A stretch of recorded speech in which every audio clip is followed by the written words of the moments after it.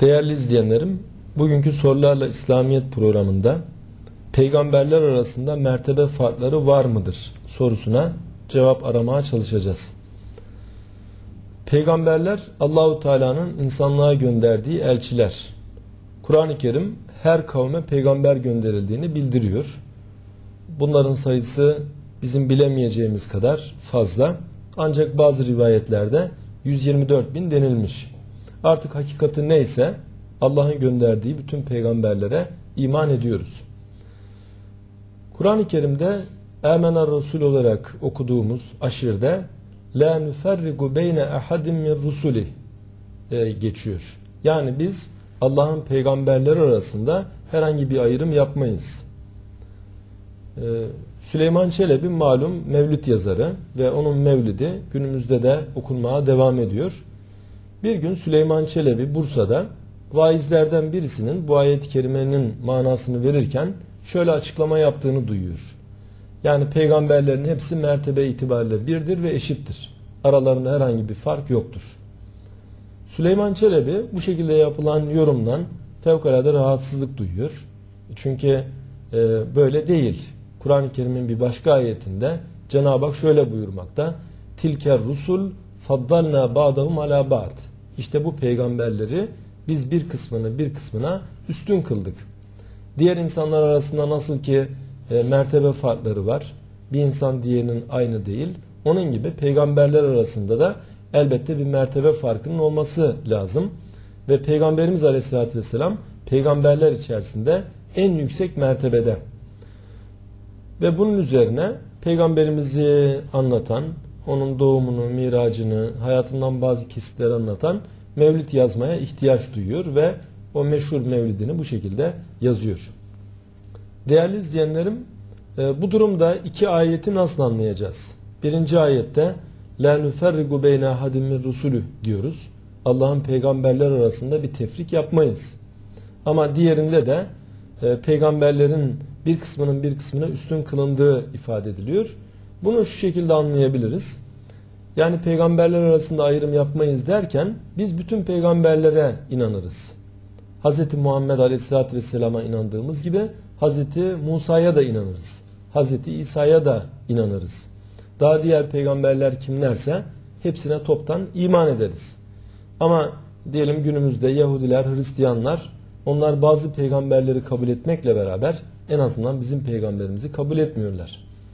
E, Hz. İsa'yı kabul ediyor, Hz. Musa'yı kabul ediyor ama Hz. Muhammed'i elçi olarak kabul etmiyor. İşte bir Müslüman böyle yapmaz. Bir Müslüman Allah'ın gönderdiği bütün peygamberleri peygamber olarak kabul eder. Yani bunların e, arasında ayrım yapmamak peygamberlik noktasındadır. Yani e, peygamber olanları peygamber kabul etmemek gibi bir durum bir Müslüman için söz konusu olamaz. Ama diğer insanlarda nasıl ki dereceler oluyor elbette peygamberler arasında da derece olacaktır. Mesela orduda e, subay denildiğinde az subaylık da mertebedir. Normal subaylık da mertebedir. Subaylık dediğimizde e, subayların da kendi arasında Teğmen'den ta Genelkurmay Başkanı'na kadar e, mertebeleri vardır. Teğmen de bir subaydır. Genelkurmay Başkanı da subaydır ama mertebeleri aynı değildir. Benzeri bir durumda e, peygamberler arasında da bir takım mertebe farklılıklarının olması kaçınılmazdır. İşte biz peygamberlerin bir kısmını bir kısmını üstün kıldık ayeti, o mealdeki ayet-i kerime e, bunu bize bildirmekte. Bizler tabi e, şu anda kendi cüz'i ilmimizle peygamberlerin mertebelerini e, değerlendirecek değiliz. Ama en azından öyle mertebelerin var olduğunu çok rahatlıkla söyleyebiliriz. Çünkü Allahu Teala her şeyde dereceler yaratmış. Mesela e, ısı yani hararetin böyle dereceleri var. Işık, ışığın dereceleri var. Her bir varlıkta her bir mahiyette bir takım mertebelerin olması kaçınılmaz. Böyle olunca belki şu değerlendirmeyi yapmak mümkün. Allahu Teala tabiri caizse maddeyi presliyor, maddeden hayatı çıkarıyor. Ve görmüş olduğumuz bütün maddi şeyler, hava, su, güneş, toprak gibi bütün bu maddeler hayata hizmet eder. Demek ki merkezde hayat var. Hayat dediğimizde de bitkilerin hayatı, hayvanların hayatı, insanların hayatı değişik hayatlar söz konusu. Bitkiler hayat sahibi ama bitkiler hayvanlara hizmet ediyor. Hayvanlar hayat sahibi, şuur sahibi, bitkiler ve hayvanlar beraberce insana hizmet ediyorlar. İnsanlar da kendi aralarında hepsi aynı mertebede değil. Bir kısım insanlar Allah'ın sevgili kulları. Bunlara veli diyoruz. Ve bir kısım insanlar da Allah'ın kelamına mazhar olmuşlar. Onlara da peygamber diyoruz. Hazreti Adem ilk insandır ve aynı zamanda ilk peygamberdir. Ta peygamberimize gelinceye kadar e, nice peygamberler gelip geçmiş ve artık peygamberimizle peygamberlik noktalanmış.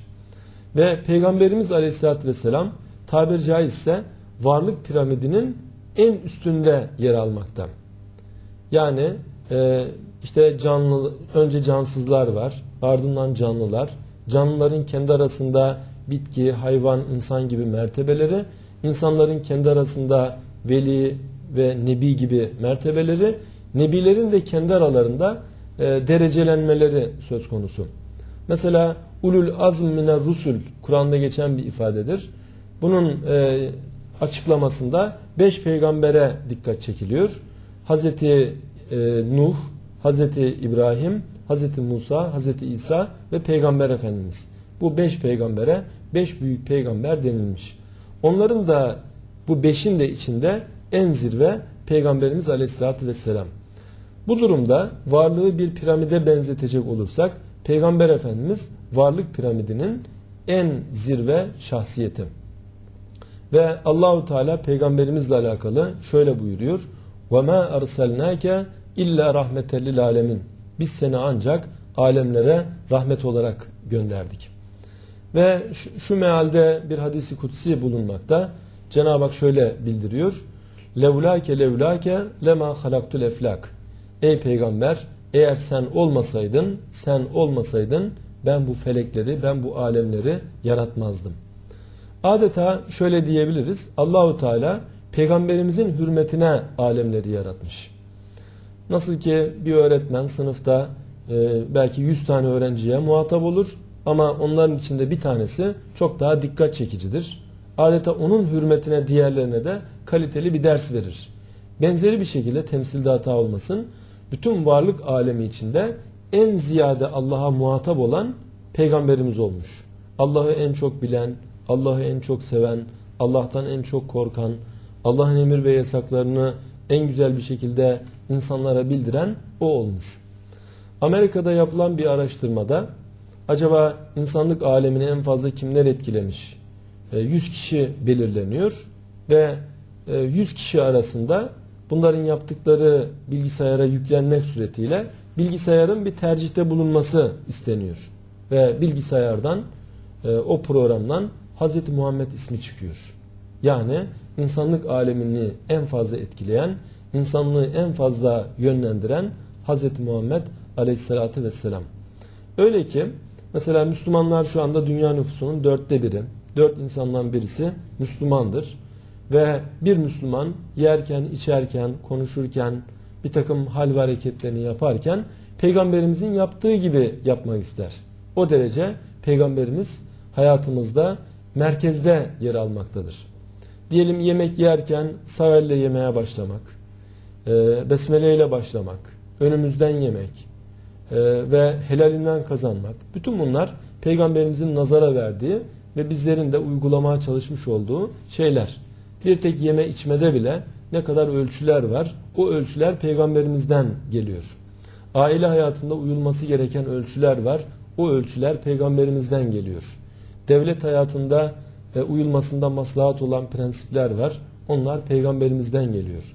Böyle olunca peygamberimiz hayatın tamamını içine alacak enginlikte ölçüleri bize getirmiş ve bizler o ölçülere uymak suretiyle Cenab-ı Hakk'ın razı olacağı e, vaziyeti elde etmeye çalışıyoruz.